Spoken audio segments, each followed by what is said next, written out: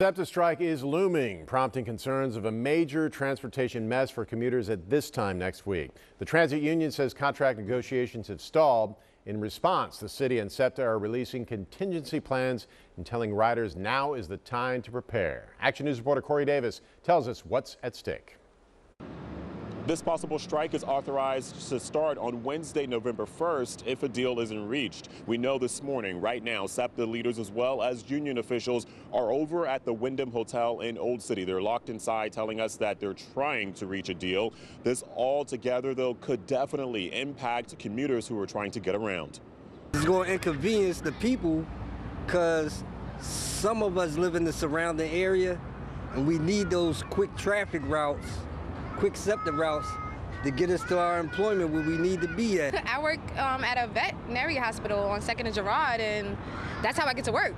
And I have to be there at 8 in the morning, so getting them early buses is a lot.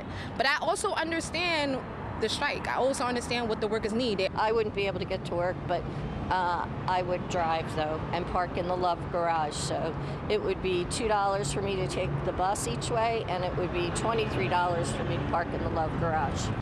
SEPTA and the city's Office of Emergency Management issued guidance yesterday in case there's a strike next week. Local TWU 234's contract expires Tuesday night, October 31st at 11:59. The strike would start Wednesday. It's the largest bargaining union in SEPTA and represents 5,000 employees. They say their motto is that they move Philadelphia. Well, that could stop next week.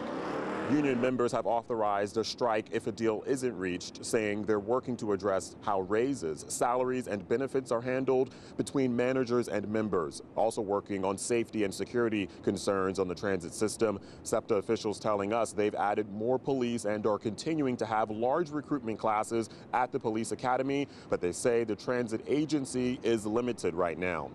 Here's a look at everything you need to know. If a strike were to occur, the following services would be suspended beginning Wednesday, November 1st. The Market Frankford line, Broad Street and Broad Ridge spur lines, City Transit bus, trolley, and trackless trolley routes. The following services would continue to operate if a strike goes into effect. SEPTA regional rail lines, SEPTA customized community transportation service, Lucy shuttle service, Norristown high-speed line, trolley routes 101 and 102, Frontier, and Victory suburban bus services.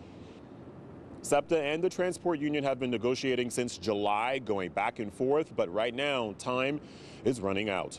Reporting here in Center City, Corey Davis, Channel 6 Action News.